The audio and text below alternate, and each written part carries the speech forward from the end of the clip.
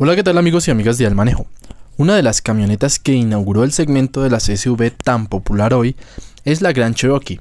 Esta camioneta americana enfocada en la comodidad y el lujo, pero sin dejar de lado las excelentes capacidades off-road de Jeep, ha llegado una nueva generación a nuestro país, más grande y lujosa que nunca, y con un gran arsenal tecnológico nunca antes visto en este modelo, por lo cual la expectativa que genera es bastante alta, pero sobre todo los argumentos con los que llega a competir están a la altura del segmento.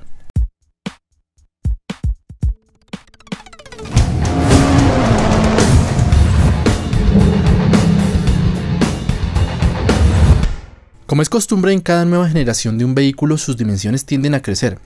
Pero en esta quinta generación de la Grand Cherokee se ha agregado una variante llamada L, que llega a Colombia con una gran distancia entre ejes, tres filas de asientos y todas las amenidades posibles.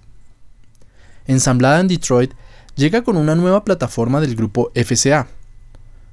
Su exterior se caracteriza por líneas rectas y un frontal imponente. Su típica parrilla Jeep cuenta con las siete franjas y en la parte baja hay una entrada de aire prominente, así como exploradoras en LED.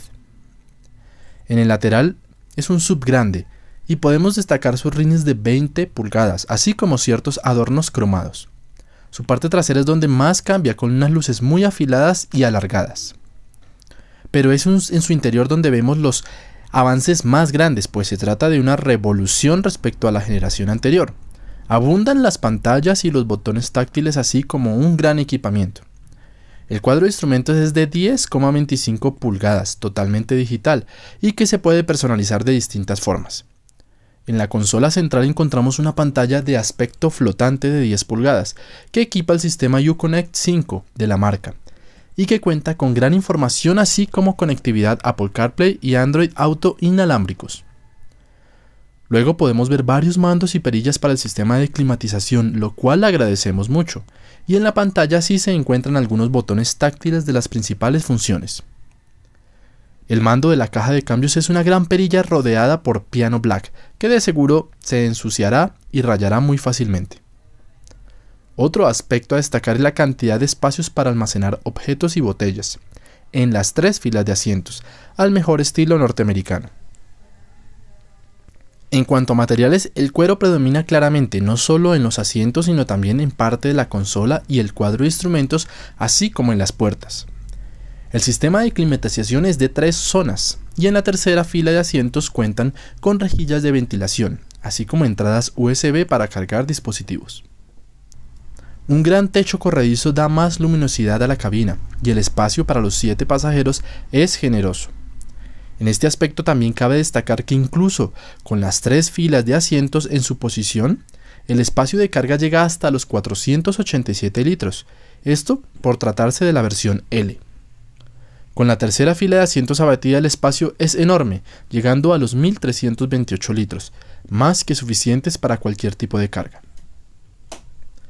Pero ahora hablemos de su motorización, ya que aquí es donde se presentan algunas discrepancias. El motor con el que llega a nuestro mercado es el confiable pero viejo Pentastar V6 de 3,6 litros que entrega 293 caballos de potencia y 353 Nm de torque. Esta potencia pasa a las cuatro ruedas a través de una caja automática de 8 velocidades con varios modos de manejo, así como una caja de transferencia de una velocidad. Muchos han manifestado su descontento por una motorización que lleva varias décadas en el grupo, pues en Estados Unidos se pueden encontrar otras opciones entre las cuales hay varias versiones turbo e incluso algunas con hibridación. Otros por el contrario piensan que es una buena opción, pues es un motor probado y comprobado, que además puede funcionar con gasolina corriente, y dado el alto precio de los combustibles, pues resulta un poco más favorable. Lo cierto es que esta motorización queda un poco corta en potencia para mover semejante masa y más cuando van los 7 pasajeros con su respectivo equipaje. Otro aspecto que no podemos dejar fuera es el tema de seguridad, donde Jeep no ha escatimado en nada. Equipa de serie 8 airbags, control de estabilidad y tracción, asistente de arranque en pendiente, sensores delanteros y traseros, así como múltiples cámaras.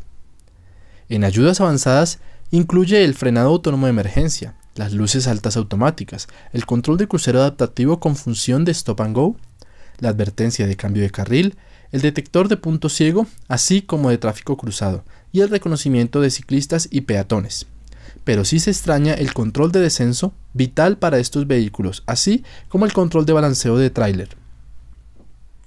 Finalmente llegamos al precio, que también puede causar distintas opiniones.